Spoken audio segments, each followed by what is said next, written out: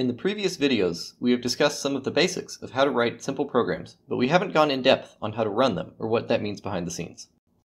To run the program in CLion, you just click the green play button in the upper right hand corner. This actually triggers two separate processes.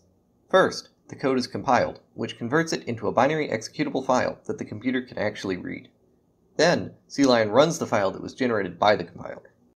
The compiler for C++ is called G++ and can also be run from the Linux terminal. G++ takes the name of the C++ file to compile and will output the compiled exe file to a.exe unless you specify a name for the output file by passing the "-o argument.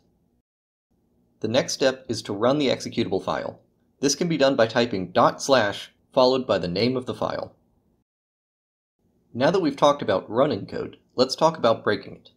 Errors can show up during either of the two steps in the process and are called compilation errors and runtime errors, respectively.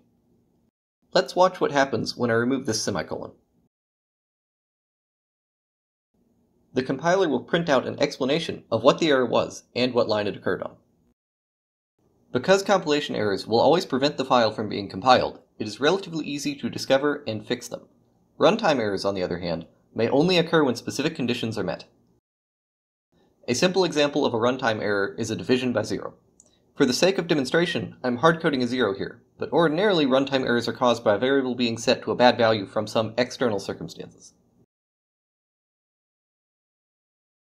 In this case, when we try to run the program, it outputs nothing instead of the second print statement that we would expect. This is because the division by zero caused a runtime error which ended the execution of the file. To summarize, 1.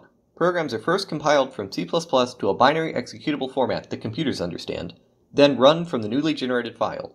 And 2. Errors can occur during both steps of the process and are called compilation errors if they occur at compile time, and runtime errors if they occur when running the program.